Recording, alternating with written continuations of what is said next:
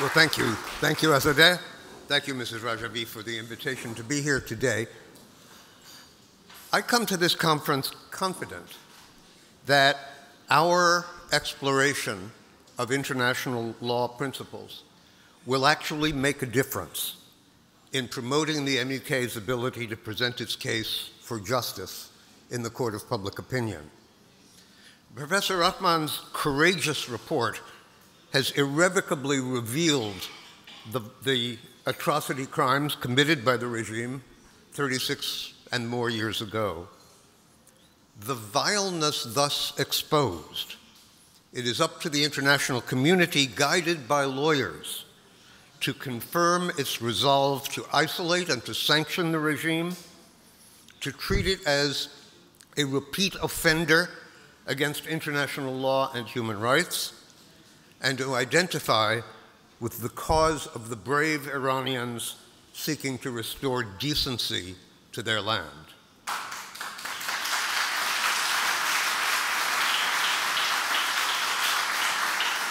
Today, today, however, my focus is not 1988, but 2024. In a twist that the word perverse is inadequate to describe, the regime has begun what it is calling a trial in absentia of some 104 leaders and supporters of the MEK. That is what I want to talk about today. Some of them are in this room right now. There is something about the regime's attitude toward the PMOI that I have always found fascinating. It constantly insults the organization as virtually without support in Iran, using derogatory words like grouplet and hypocrites, as if it were a minor annoyance rather than a threat to the regime's very survival. But if the MEK is so insignificant, so isolated, and so marginalized, what accounts for the regime's endless obsession with it? Why the murders at Camps Ashraf and Liberty? Why the unceasing propaganda campaign? Why the attempt to bomb the NCRI rally, a rally that I attended here in Paris in 2018? And why this new crusade, this show trial whose foreordained outcome no one outside of Iran and probably no one inside it either is going to credit?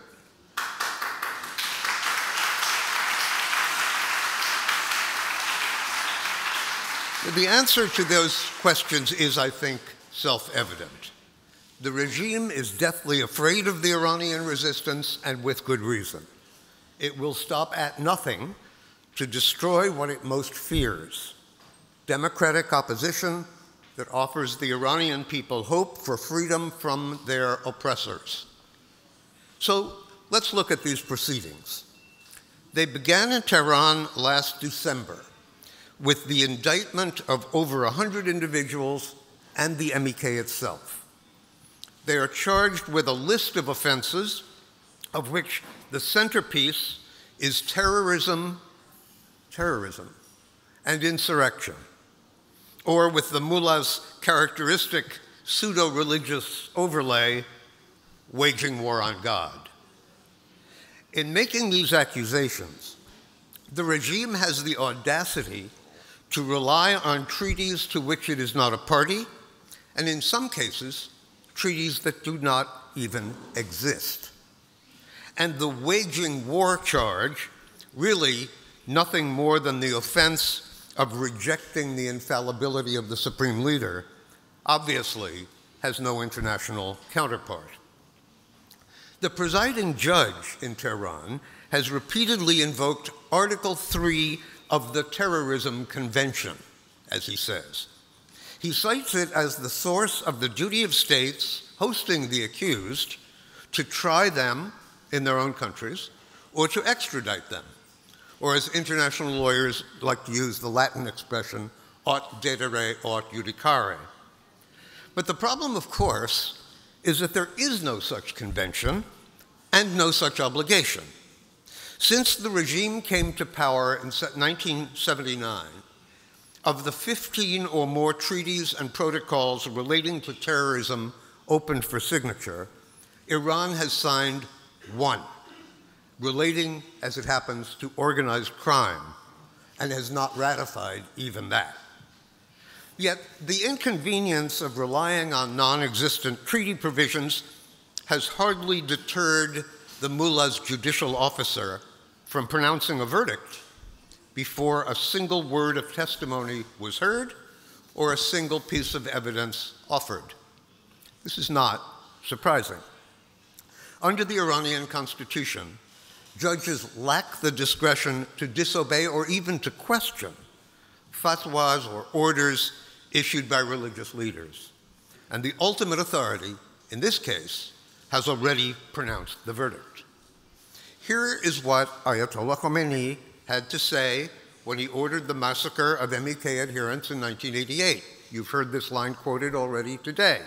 As the treacherous monafekin, the insulting term, do not believe in Islam, and as they are waging war on God, and in light of their cowardly blows to the Islamic Revolution since its inception, it is decreed that those who remain steadfast in their support for the Mojahedin are condemned to execution. Thus, the trial judge regularly refers to the defendants before him, the defendants on trial for terrorism, as terrorists. He has not questioned the regime's fictional claim that the MEK has been responsible for some 12,000 deaths of innocent Iranians since the overthrow of the Shah, although no evidence for that claim has been or will ever be forthcoming. The crime of waging war on God, as we all know, Moharebeh, is punishable by death. And just as the Ayatollah did then, the judge in Tehran has done now. He has declared the outcome of the trial before the trial begins. All members of, or supporters of the MEK are by decree guilty. There is no need to determine the facts. There is no need to consider whether a law designed for no other objective than keeping the regime in power is acceptable under contemporary human rights standards. When the judge repeatedly invites the defendants to come to appear in court in Tehran, he is effectively asking them to commit suicide.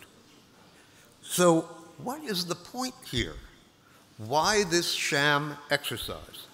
What audience is expected to fall for these lies? The regime lays accusations under Iranian law against individuals who have not set foot on Iranian soil in more than 30 years.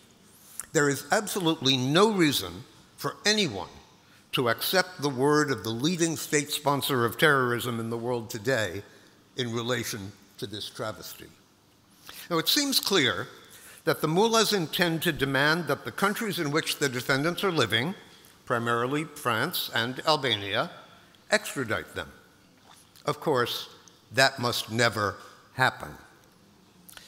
Albania has no extradition treaty with Iran, and although France does, it is inconceivable that the French would extradite individuals to a country where they would face inevitable execution nor does any universal aut, dedere, aut judicare principle mandate or indeed or permit extradition absent a treaty.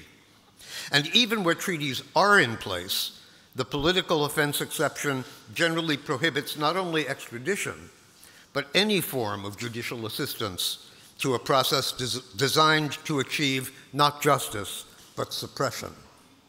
The dual criminality requirement means that extradition may be had only for acts that are crimes in both the requesting and the requested state. To my knowledge, no country other than Iran presumes to criminalize waging war on God. So the regime will never get its hands on these people. As we say in rural America, that dog won't hunt. Any red notice requested by Iran should be rejected at the outset by Interpol, and if issued, should be ignored by any country to which it is presented.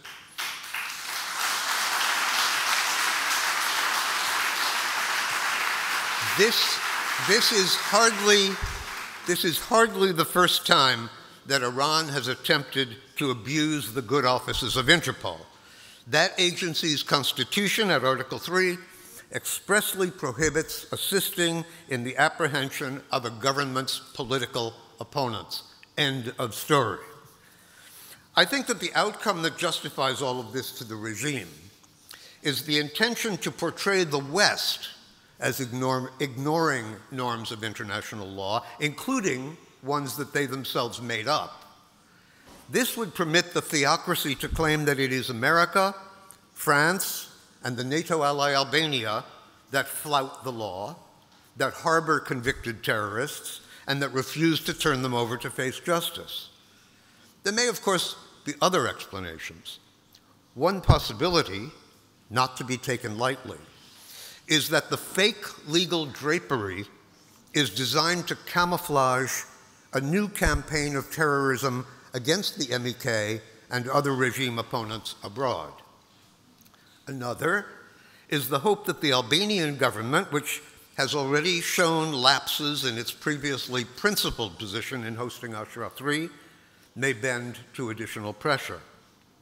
So here is where we international lawyers come in.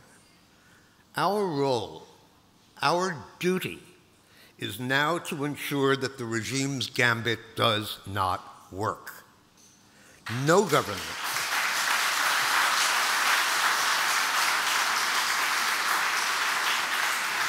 No government, no government, no rational person should take seriously for a moment the notion that somehow the MEK is responsible for terrorism against the terrorist regime in Tehran. Not only must the events of 1988 not be forgotten, but what the regime is attempting to do right now must also be in the public eye.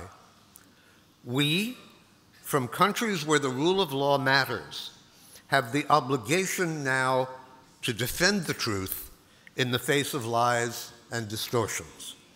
That is the challenge that I want to lay before this distinguished audience today. And I don't think we can shrink from it.